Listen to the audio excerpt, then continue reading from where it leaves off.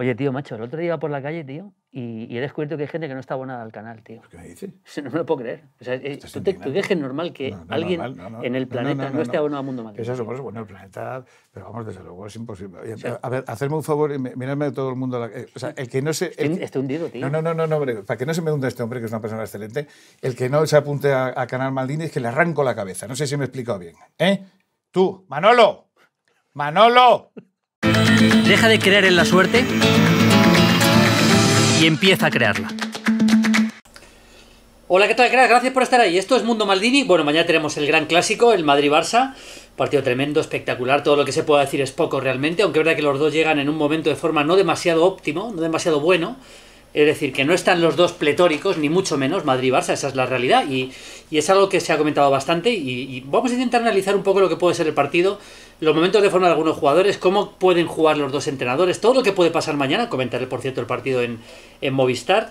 Así que algunos detallitos, lo digo porque es que he hecho este vídeo que tenéis ahí, eh, eligiendo mi 11 de los disponibles entre Madrid y Barça, donde por cierto he dicho que no estaba disponible Jordi Alba y al final sí que va a estar, así que habría que cambiar y poner a Jordi Alba en la banda izquierda por Mendy en ese vídeo, pero bueno, eh, ahí lo tenéis el vídeo si lo queréis ver, y muchos comentarios me habéis dicho que, que eso está muy bien, pero que además de después del partido, que hagan análisis post partido desde el Bernabéu, eh, que también un vídeo previo con algunos detalles, pues vamos allá, venga, vamos allá.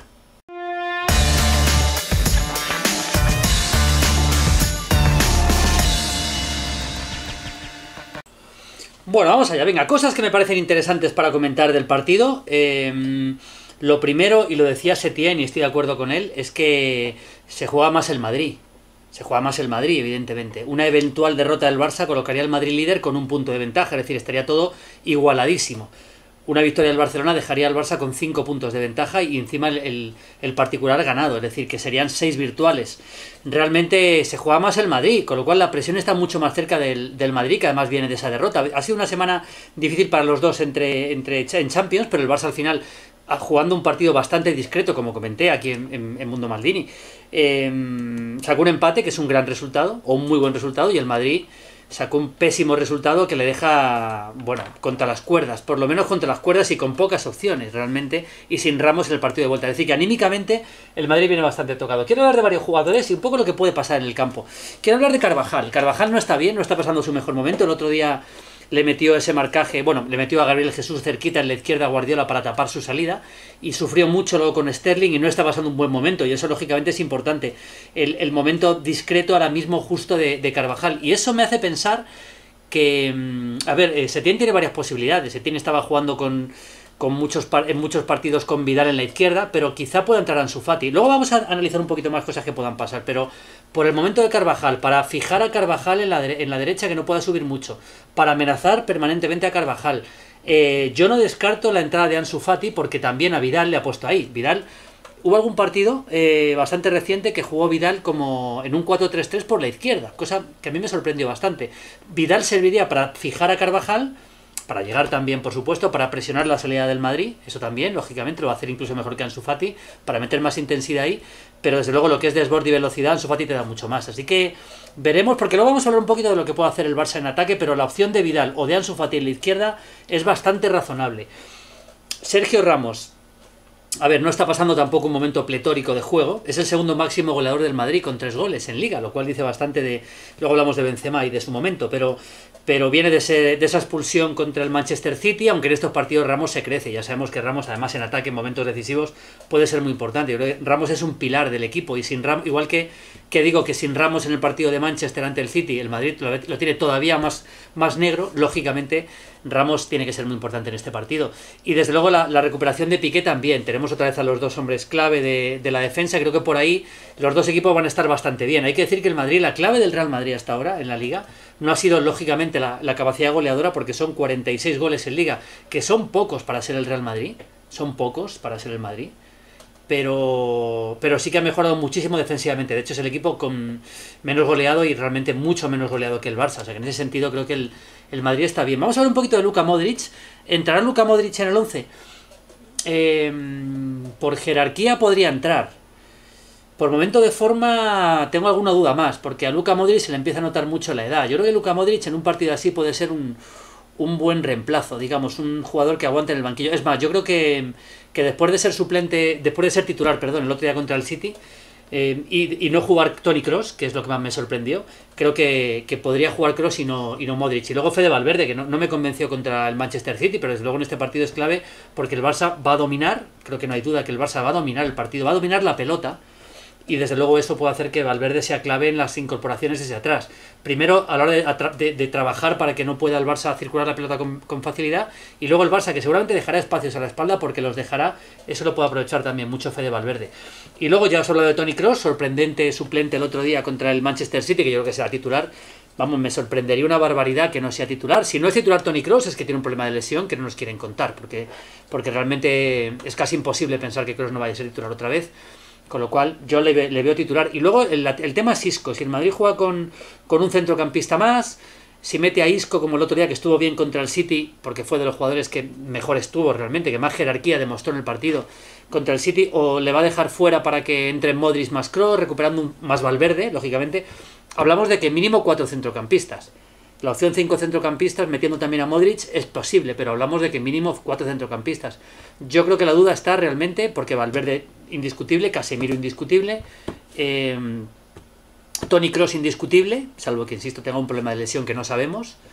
Eh, Isco creo que es Isco o Modric. Yo me inclino por Isco y que Modric se va a quedar fuera, pero por lo bien que estuvo el otro día, pero lo veremos. Y luego hay otro detalle, Benzema, Benzema no está bien, ya sabéis que me, me, entusiasma Benzema, pero aunque no esté bien, realmente es la solución que tiene el Madrid arriba para generar juego, porque el Barça si te domina el partido, el Madrid con un poquito más de espacio puede hacer mucho daño. A ver, Benzema lleva tres goles en 14 partidos. Es una cifra francamente paupérrima para, para Benzema. Yo soy un defensor de Benzema, pero en este caso, en cuanto a, la capacidad goleadora, no se le puede defender, porque tres goles en 14 partidos. El problema de Benzema es que no tiene el goleador que tenía antes, con lo cual antes si no hacía tantos goles no pasaba nada, o sea, no pasaba nada, se, notaba menos. Ahora sin, sin, Cristiano arriba, lógicamente, 14, eh, 14, 3 goles en 14 partidos, uno de ellos en Copa al Zaragoza, un equipo de segunda división, y los otros dos, es verdad que goles importantes, uno en Valencia que le da el empate al, al Madrid y otro ante el Atlético de Madrid que le da el 1-0, pero 3 goles en 14 partidos es, es muy poco y realmente el Madrid no tiene gol. Y si el Madrid no tiene gol eh, aún así, el único que lo puede hacer es Benzema. Eh, Gareth Bale, ¿qué pasa con Gareth Bale? Pues eh, ¿le veis titular a Gareth Bale? Ponémelo en los comentarios. Es una posibilidad. Si el Barça deja mucho espacio atrás porque domina, es una posibilidad que Gareth Bale, que en los partidos importantes, por ejemplo contra el Barça, en algún partido ha funcionado bastante bien, en aquella final de Copa, por ejemplo. Yo a Bale le veo fuera. Igual azul el partido. Creo que a Bale todavía le desde luego Bale tiene fútbol para de repente sorprender con uno de los partidos de su carrera. ¿Por qué no puede ser mañana? Pues es posible.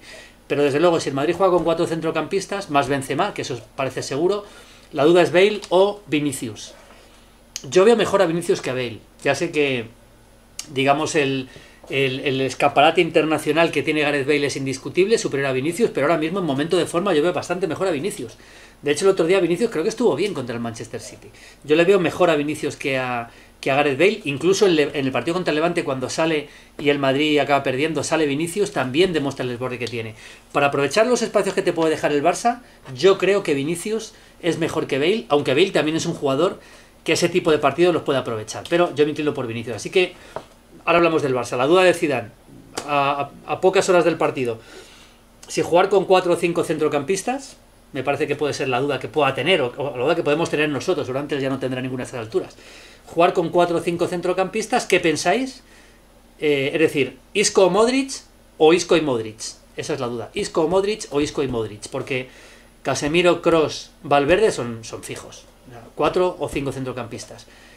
Y luego si jugar con Bale o Vinicius. Creo que son las dos dudas que pueda tener. Bale o Vinicius. Hazard está lesionado, lógicamente. Bale o Vinicius. Yo me inclino por Vinicius. Vamos con el Barça. El Barça recupera a Jordi Alba. bueno, recupera, le han dado de alta y viaja. Otra cosa es que juegue. Porque veremos qué tal está después de la lesión. Pero desde luego, si está medianamente bien, jugará.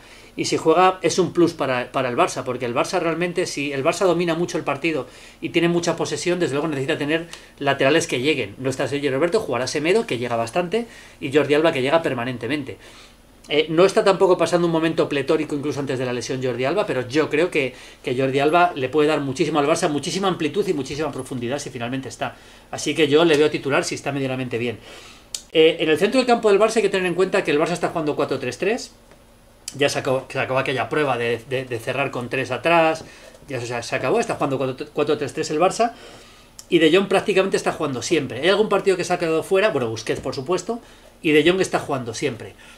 Eh, bueno, aquella sorpresa que nos dio Valverde dejando a Busquets fuera del, partido de la primera vuelta con empate a cero, entonces estaba Valverde por supuesto, yo creo que no se va a repetir. Yo veo a yo veo titular indiscutible a Busquets y también a De Jong. Busquets y De Jong titulares indiscutibles en el 4-3-3. La duda la tengo entre Artur Rakitic. Esa duda, Artur Rakitic. Yo creo que el Barça va a priorizar control total, porque en el fondo, en el fondo el empate para el Barça tampoco es mal resultado. Tampoco mal resultado para el Barça el empate, aunque lógicamente el partido va a ir a ganarlo, igual que el Madrid, pero el empate en un momento dado no me parece un mal resultado para el Barça.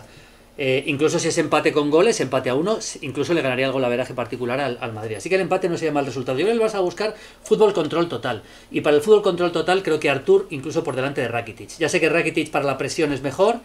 La duda está entre Artur y Rakitic. Rakitic es mejor para la, para la presión y todo eso es verdad, pero creo que Artur, si busca mucho control de juego, le puede dar bastante al Barça en el medio campo. Luego Griezmann, por supuesto, jugará, eso no, no cabe ninguna duda, pero la... Bueno, Griezmann está, está goteando goles, digamos. Lleva 8 goles en liga, no está teniendo una gran capacidad goleadora, pero sí que está goteando goles y está participando bastante con los desmarques que él tira. O sea, en ese sentido, está ayudando bastante incluso a Messi, aunque no del todo.